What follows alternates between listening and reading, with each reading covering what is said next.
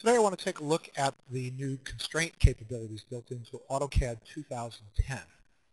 You'll find the constraint tools on the parametric tab in the ribbon bar.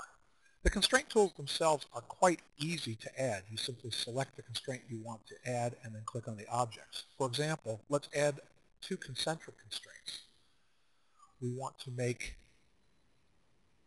that circle concentric to that arc. Let's add another one.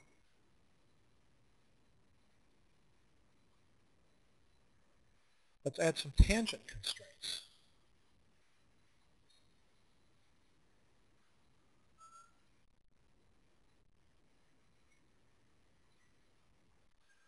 We'll also add a horizontal constraint and a parallel constraint. Notice that as I added the constraints, I select the object that I want to remain in its current position and then the object that I want to align with it. There's also a very powerful auto-constrain tool. Auto-constrain lets me assign a number of constraints in a single pass. AutoCAD simply finds any geometry that falls within a certain tolerance and assigns appropriate constraints. Notice that as each constraint was applied, AutoCAD shows an icon in a constraint bar adjacent to that object. If I hover over the icon, AutoCAD highlights the objects that it applies to. I can hide those icons or show them. Let's apply another type of constraint. In this case, let's apply some dimensional constraints. I'm going to apply a radial constraint to that circle.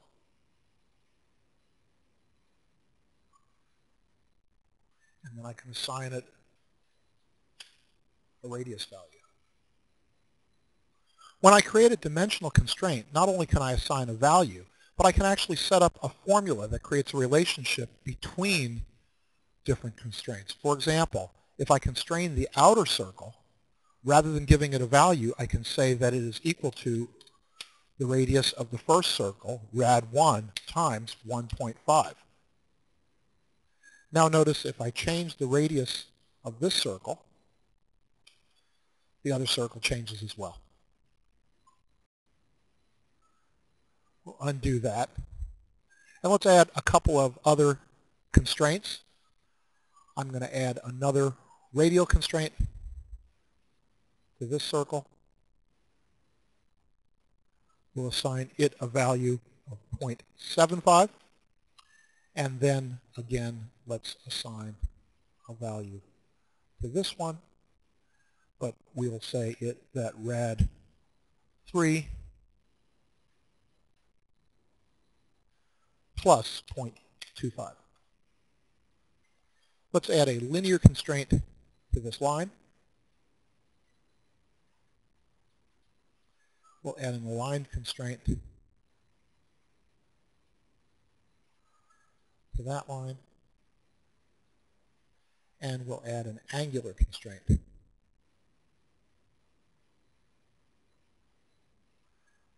Right there. Let's also go back in and add a parallel constraint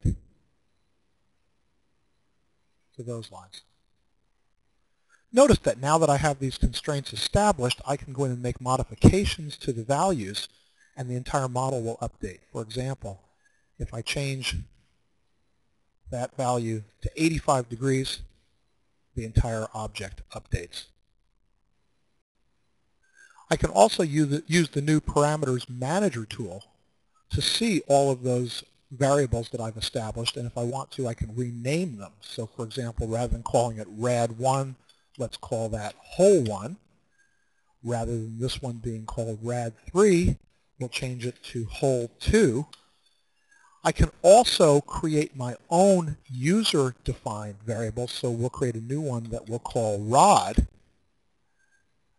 and then I can assign, instead of a value of 0.5, we'll say that that's actually rod.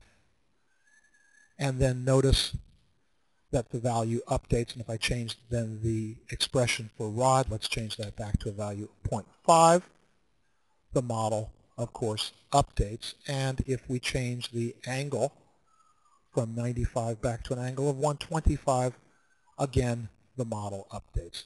So as you can see, the parameters manager, the geometric and dimensional constraints are quite a powerful new tool with quite powerful capabilities inside of AutoCAD 2010.